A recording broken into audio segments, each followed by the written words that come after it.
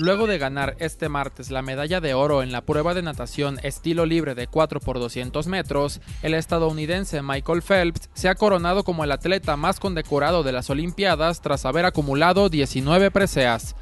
Una hora antes de recibir su última medalla, Phelps había ganado la plata en la prueba de 200 metros estilo mariposa, el nadador sobrepasó el récord de 18 medallas olímpicas que hasta la mañana de este martes ostentaba la gimnasta rusa Larisa Latinina. En toda su carrera, Michael Phelps ha ganado 15 medallas de oro, 2 de plata y 2 de bronce. El público que presenció la entrega de su medalla número 19 lo ovacionó durante minutos y por la tarde la delegación de atletas norteamericanos se reunió para felicitarlo. El Universal.